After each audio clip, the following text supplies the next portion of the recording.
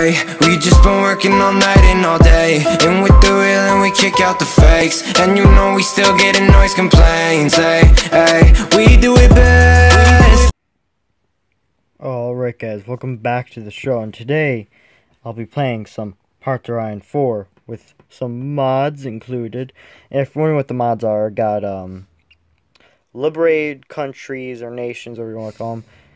Uh, a mod that makes Hitler's uh, or Germany's uh, flag the Nazi symbol. Got a mod that uh, makes training soldiers faster. And I got a mod uh, that I can have instant war so that I don't have to wait like a hundred days. So, what we're gonna be picking, I actually haven't played as this country before. We're gonna pick the British Raj on regular.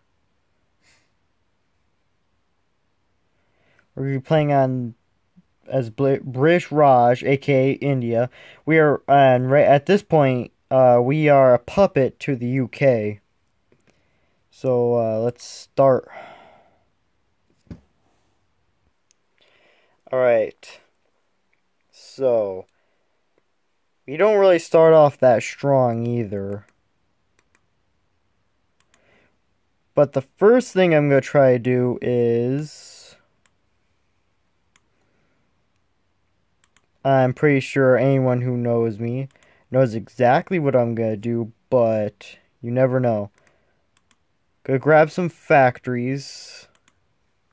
Make some support. And we'll go on. Get rid of that. We're going to make some military factories. Get out of there. And we're gonna... Oh, okay, we are not that good. We need that. Yes, I think so. We only have two research uh, bars or slots, which isn't that good. That's really bad. We aren't that developed, I guess. Apparently, Britain doesn't give us any stuff, which is dumb. So we're gonna pass the time.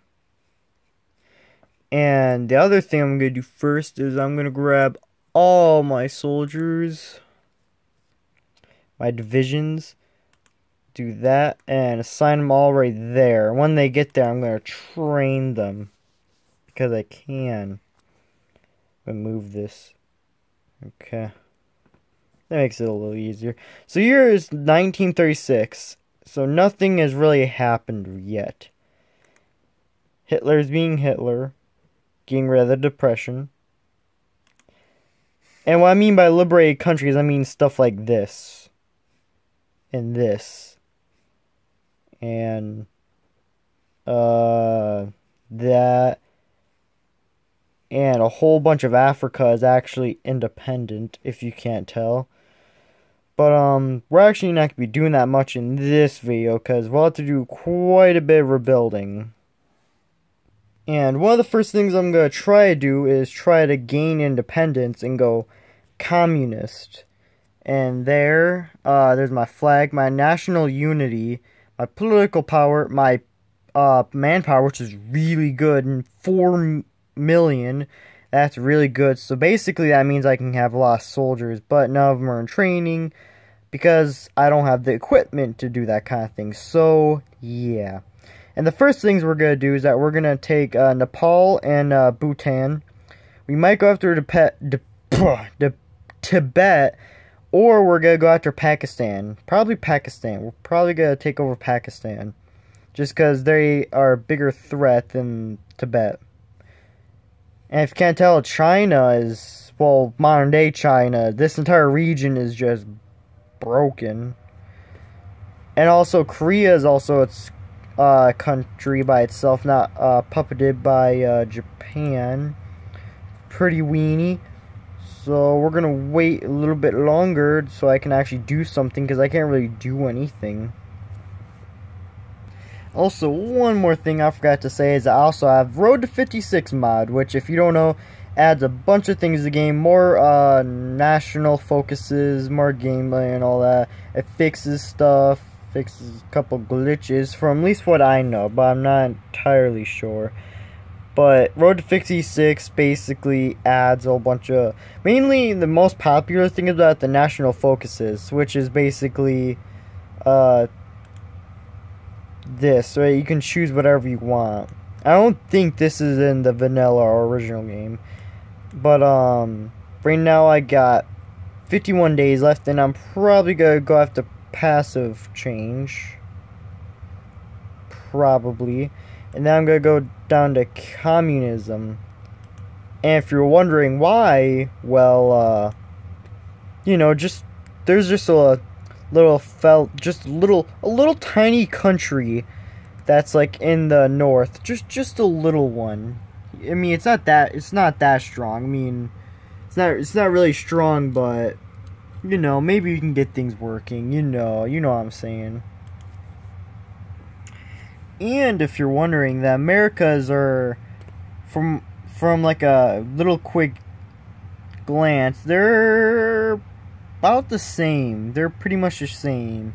You got FDR sitting in his wheelchair, looking pretty happy. Automatically dislikes Germany, racist. Joke.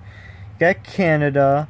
I yeah, I think if I'm correct, Canada is supposed to be part of the British, the Brit, the British Empire or whatever you want to call them. Um, there's nothing really in here, just this entire thing at all. There's nothing gonna be important happening here anyway. So, and also in Road 56, also allows uh, more uh, countries like form factions. Since I started this in the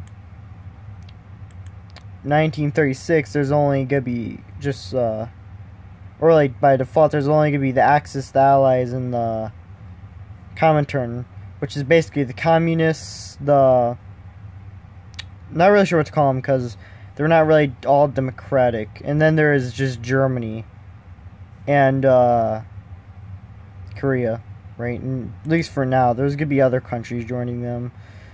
So we're still waiting for the troops to get there so I can start training them, but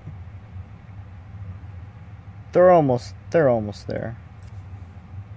Oh, look who it is. Oh boy, this pretty much happens in every single game, doesn't it? Oh boy. Let's go check over to Spain. Even though this happens literally every single game. And uh nationalist Spain is fascist. You got Republican Spain, which is uh yeah. They're they're the best ideology of all time, so this guy, this this beautiful man has the right idea, but um most of the time he loses. He does lose because for the nationalist uh Italy and Germany mostly ends up helping him, so he they that's why he mostly wins most time. Unless more communist states are in place and oh sweet, it can start uh exercising to go out and help them, but most of the time, national Spain wins. So how many troops does uh, they do Pakistan have? 5d8, and they have over a million manpower, almost 2 mil. That's that's nice. That's just beautiful. Oh, might have to go to Nepal first though. But before I even do any of that, I actually gotta, you know, get out of being a puppet which is gonna take a while, like a long time. Like, eh, it might actually not be that long, but um, we're gonna wait for that so I can go passive and then just turn communist because communist is like the best ideology ever. It's the best idea that has ever happened. It's literally the best thing ever because of Joseph Stalin and whatnot. Alright, got that. Let's go passive. Sure, why not? Now we just gotta wait 69 days. Sounds fun. But, just, uh, just gonna grab that. There we go. There we go. Now we're just feel pretty satisfied by myself now. Got a supporter bringing in some communism. 0.10% daily. But right now, communism is 1.20%. Oh boy. This is going to take forever. Alright, it is the 1936 April 14th, and we're going to leave it off here. Right now, nothing really important is going to happen for the first year. Germany isn't going to really do anything. They're mainly just going to try to rebuild. So no big wars are probably going to happen until I get uh, independence or try to because it's probably going to be a civil war. This is going to be the only really big war that's probably going to happen in the first two, uh, probably year and a half, maybe, or something like that.